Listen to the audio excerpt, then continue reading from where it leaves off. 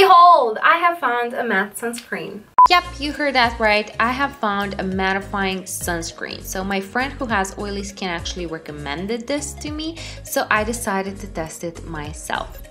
Okay, so I'm talking about Vichy Ideal Soleil SPF 50 Mattifying Dry Touch Face Fluid.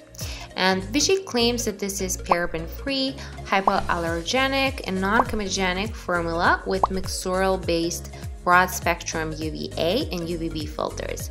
And it's also enriched with Vichy Thermal Spa water. Okay, so first let's see what is it that is creating that mattifying effect. Okay, so this formulation has silica and aluminum starch octenyl succinate, which both have great oil absorbing abilities, and they are responsible for creating that matte effect on the skin. Now let's see, how well is this sunscreen protecting us from the sun? Let's go through the ingredients really quick quickly. Okay, so this sunscreen has 9 UV filters uh, and this particular one that I'm testing today is from Europe and I know that the US version is different so just be warned the US version is quite different and it does have alcohol in it and it has 3 uh, less UV filters than this one so this just a little heads up in case you're watching from the States. So European version of the sunscreen has 4 UVB filters, 3 combined UVA UVB filters and 2 solely UVA filters. Some of the important UV filters that I would like to mention are Tinosorb M, Mexoryl XL, Mexoryl SX, titanium dioxide, and avobenzone. Avobenzone is a globally available chemical sunscreen agent that provides you with proper UVA protection. So this is a great UVA filter, but the problem is that it's not photostable and it degrades in the sunlight. But it can be stabilized with octocrylene and octocrylene is also included in this formulation. Then we have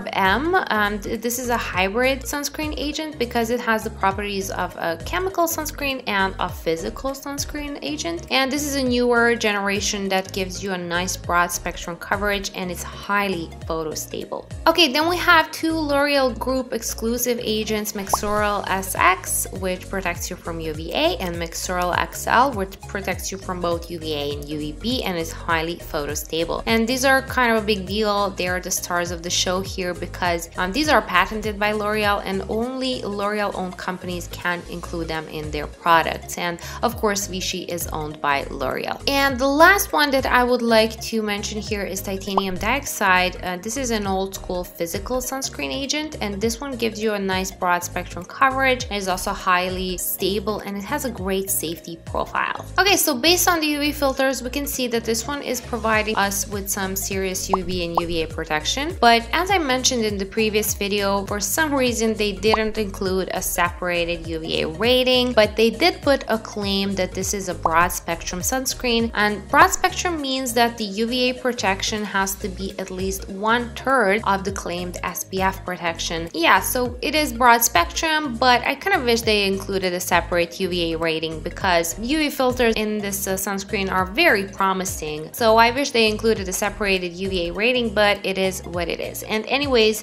UVB rating is included and is very high, it's SPF 50. If you would like to know more about UVA and UVB ratings and difference between UVA and UVB rays, you can check out this video that I already posted on my channel. Okay, let's get back to this review now. Vichy claims that this is non-comedogenic and this does not have uh, a lot of comedogenic ingredients. It only has a couple of comedogenic ingredients and luckily they are not highly comedogenic so in theory it shouldn't give you breakouts. And lastly, before before I show you how it performs on the skin, I have to mention that this formulation has perfume, so in case you are sensitive to fragrances in your products, then be warned. Okay, now let's see how this performs on the skin. So as you can see, the formulation is on the thicker side, but it's easily spreadable and at first it feels very moisturizing and it gives you a subtle glow, but don't worry, after a while it goes matte and your skin is completely matte to the touch. As the name says, it is indeed dry touch. How it performs underneath makeup? Well, this depends on your skin type. If you're oily, you will love it, and if you have a dry skin like me, then maybe not so much. You will not love it that much. This makes my foundation look patchy and cakey, and uh, my friend that has oily skin actually loves it. So it really comes down to your skin type. Anyways, that would be all regarding the claims and ingredients. Now stay tuned because after this I will be sharing with you my final opinion regarding this sunscreen. Just in case you're new to this channel, let me just introduce myself really quickly. My name is Danny and I am a pharmacist specialized in cosmetology and that's why I make these fun informative videos in which I analyze ingredients of makeup and cosmetic products, mainly skincare though. So if you're interested in this kind of content, please subscribe to my channel and click the notification bell so you don't miss out on my future uploads. Thank you so much. Okay, now let's talk about this mattifying face fluid by Vichy. Is it good or not? What is my final verdict on it? First, let's discuss how matte is this? So in the beginning I said it is a matte sunscreen. I have found a matte sunscreen and it is indeed a matte sunscreen. It does have two ingredients that have great oil absorbing abilities that are creating that mattifying effect on the skin. So this is truly a matte sunscreen and I was really surprised. This is the first time that I have found a truly matte, completely matte sunscreen. As you know, La Roche-Posay wasn't really matte and the other one, Sonnenfluid by Sundance, even though it had a claim that it is matte, it wasn't matte. So that often happens with sunscreens. They have a claim that they are matte and they are not matte in, the end. But this one truly is mattifying and it does have the ingredients that mattify your skin. So there you go.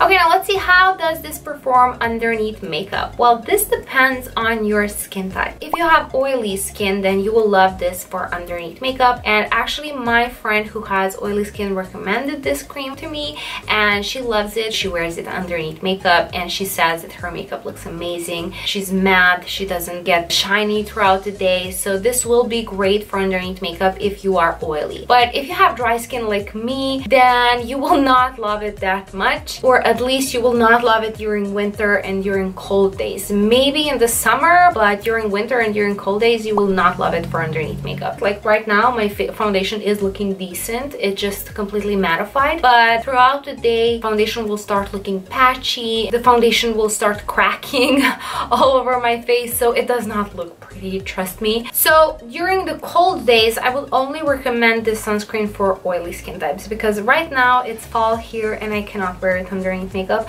but I think I would have loved it during summer because La Roche-Posay was kind of too much for me um, during summer even though my skin is dry and I had to set it with, with some uh, face powder. So yeah it's a pity that I didn't get this one during summer. But the good thing is that this one has period after opening 12 months. So you can use it after opening it. It's not going to expire for another 12 months. So that means that I still have time to use it up until next September. So bottom line is uh, it depends on your skin type. On dry skin types, it won't perform well. The foundation will look patchy, but on oily skin types, it will look great. Okay, next category, how high is the protection? Okay, so this is SPF 50 broad spectrum UVA UVB SPF 50. What that means is that the UVA is at least one third of the claimed SPF. That's what broad spectrum means. Now, unfortunately, they didn't include a separated UVA rating, which I'm kind of sad about that because UV filters promise a lot because this one has Mexoryl XL, Mexoryl SX. These are the L'Oreal Group exclusive agents that can only be found in L'Oreal owned companies and Vichy is of course uh, owned by L'Oreal L'Oreal. So it does have the same uh, six UV filters that were that were included in La Roche-Posay Shaka Fluid, and then it has three more on top of that. So it does have a lot of UV filters, and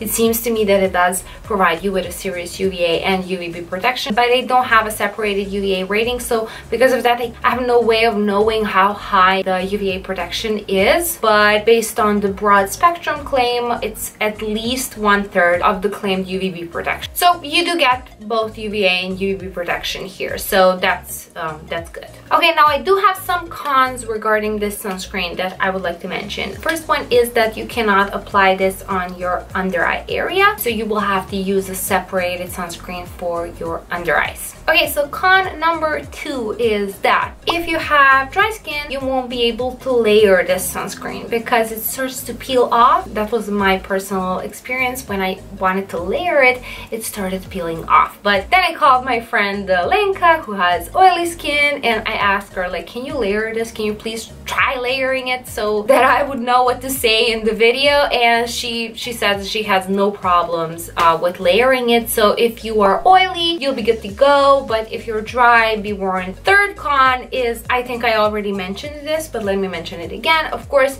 during the colder days, dry skin cannot handle this sunscreen. It's too mattifying for dry skin.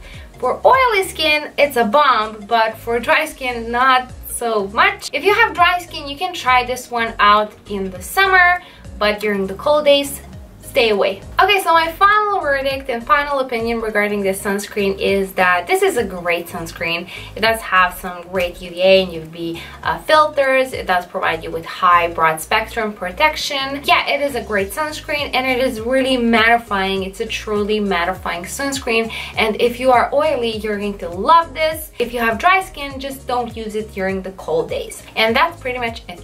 Now, there you have it. That would be it regarding this video. If you enjoyed, please like, share, and subscribe, and I will see you in my next video. Bye!